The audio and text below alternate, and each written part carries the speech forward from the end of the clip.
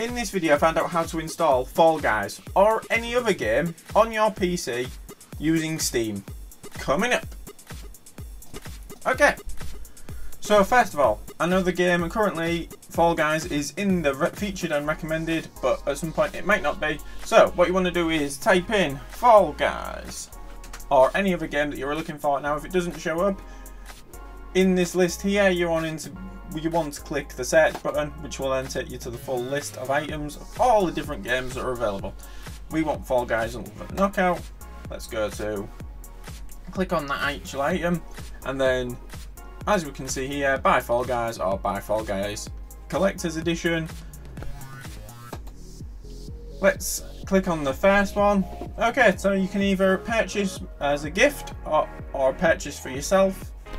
You click purchase.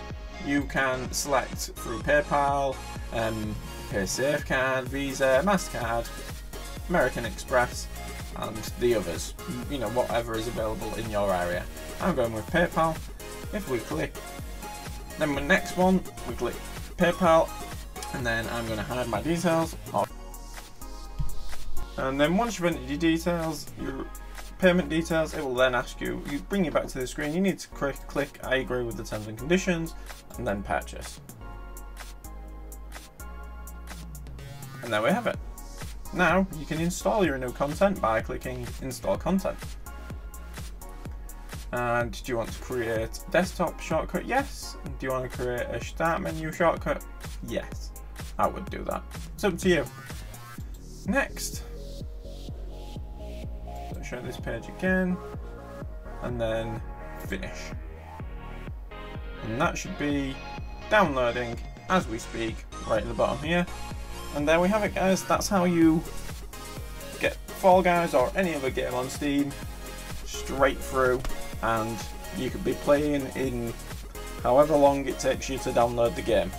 Unlike Stadia that takes literally a click of a button and you're in the game Either way, obviously, Fall Guys is not currently on the Stadia. Maybe one day, you never know.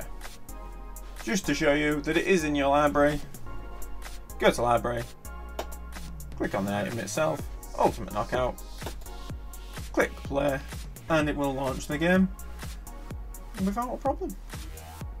Apart from it launches on my other screen, so you don't get to see that. and there we have it running straight away, no problem and yeah, it was that easy to install. Just got to pay for it.